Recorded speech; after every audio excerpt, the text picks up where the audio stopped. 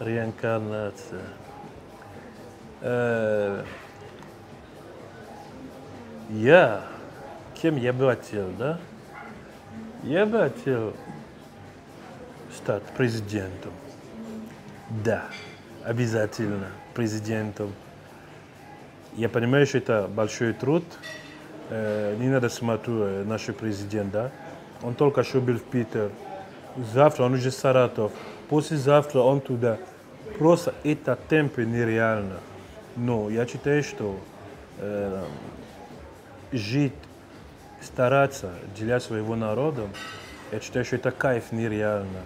Э, решать какие-то проблемы, да, Э, когда смотрю, там, девушка, там, э, там пишет президент, да, там, помогите, э, там, коляска, там, я считаю, что я бы с удовольствием такой роль, я бы больше слушал, слушал народ, помогал народ.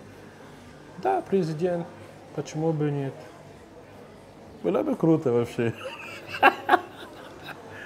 Или э, вариант еще, да, э, почему бы священник.